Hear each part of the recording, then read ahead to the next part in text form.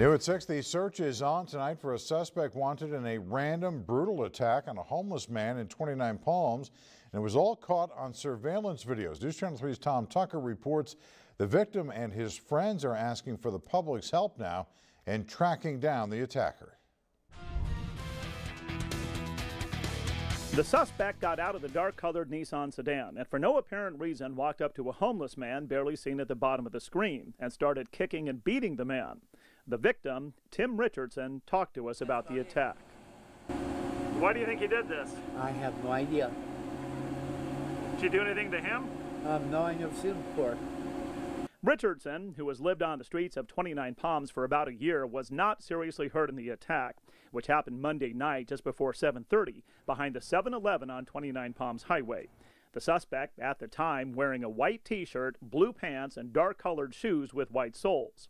He quickly got back into the car, which then pulled away from the scene.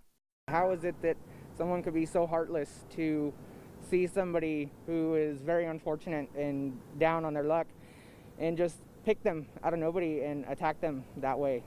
Wednesday morning, Richardson provided details of the attack to a detective from the San Bernardino County Sheriff's Department. People we spoke with who say they know Tim say he's a very nice man and not one to panhandle. In fact, they say he helps area businesses by sweeping their sidewalks and parking lots.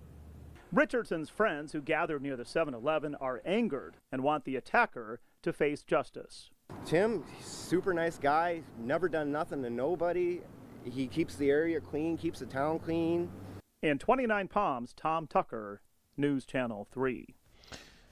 The detective investigating this case is asking anyone with any information on who that might be to call him at 760 365 9413. You can also find that number right now on our website, kesq.com.